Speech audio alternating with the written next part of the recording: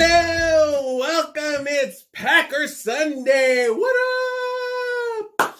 Thank you for watching today's video. My name is Al. Um, you know, it's been a while since I've got, if since I had the chance, or since there was a reason, go Pack Go, for me to do a football uh, tarot video.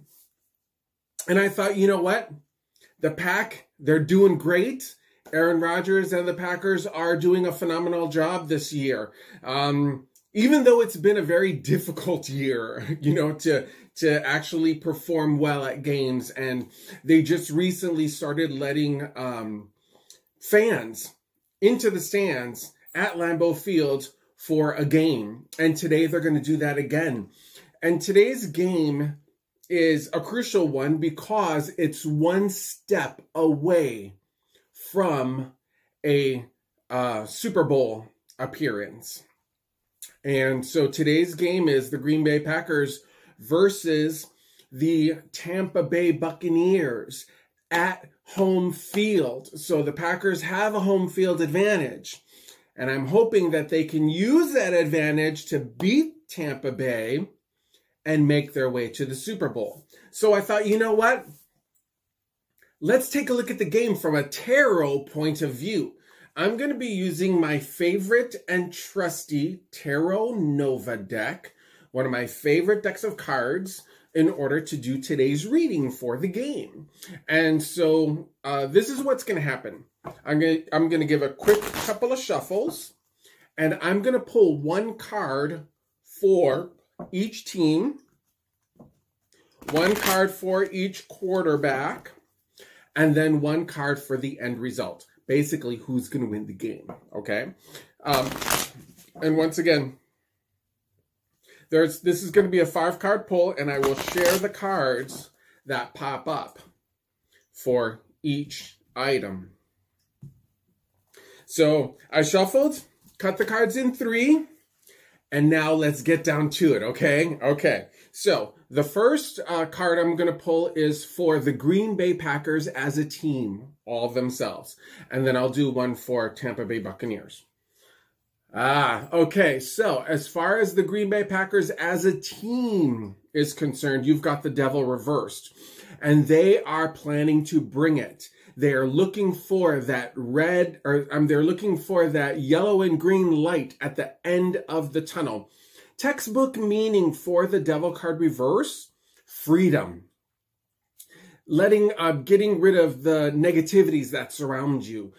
Seeing the end of the tunnel, healing, moving forward, seeing the end results. And so if that's what the Green Bay Packers are looking for, the devil card reverse definitely says that's what they're going to receive. They're going to see that end result that they're looking to achieve.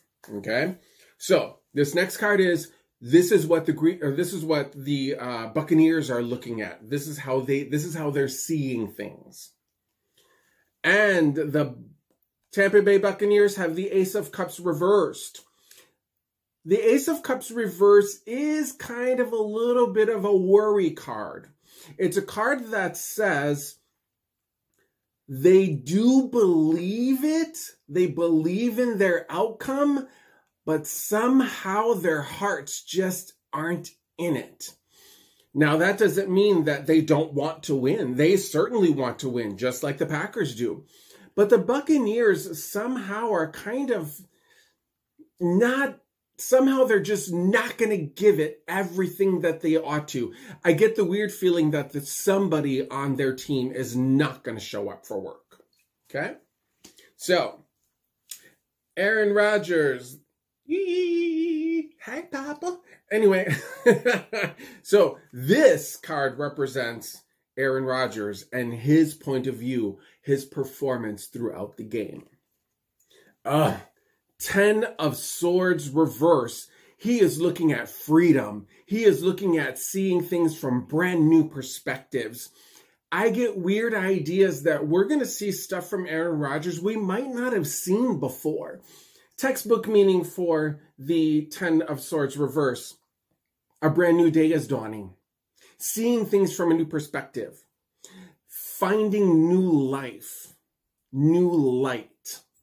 So chances are Aaron Rodgers has a pretty good viewpoint as far as what he is expecting from himself and from the team. All right. Um, okay. Uh, Tom Brady. This card represents Tom Brady. This is his thought process. This is his performance. This is what he's thinking. Seven of Pentacles reversed. I do feel like, as far as he's concerned, you're going to see Tom Brady really try to pull effort from the Buccaneers. I do feel like as far well as far as textbook meaning is concerned, maybe overthinking things, maybe being overconfident.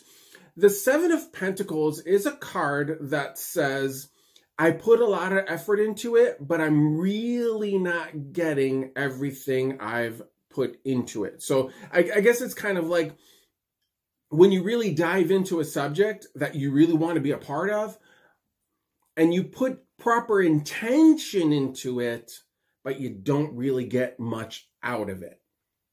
I don't know if that makes any sense, but I guess Tom Brady is expecting his team to do a lot more than they're capable of.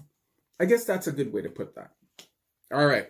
So this last card is going to be the end result. I guess I'm looking for who's going to win. Is it going to be uh, Green Bay Packers?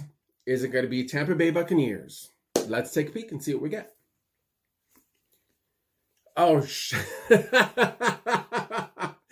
I'm you know what? Oh, shit. Okay.